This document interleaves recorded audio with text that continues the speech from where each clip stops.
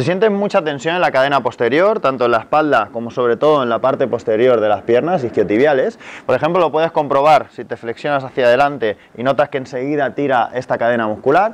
Lo que vamos a hacer es vamos a relajar la mandíbula, en la zona donde empiezan las cadenas que bajan hacia abajo. Para relajar mandíbula simplemente vamos a presionar con los talones de las manos justo debajo del pómulo y de ahí dejamos la boca abierta y vamos a presionar hacia adentro un poquito y hacia abajo. Vamos a ir notando como poco a poco cede la mandíbula y va relajando. Puedes hacerlo durante uno, dos o tres minutos, lo que sientas que es necesario. Y cuando lo hayas hecho, seguramente compruebes de nuevo la flexión y vas a ver cómo se ha relajado la cadena y ahora eres capaz de llegar mucho más abajo.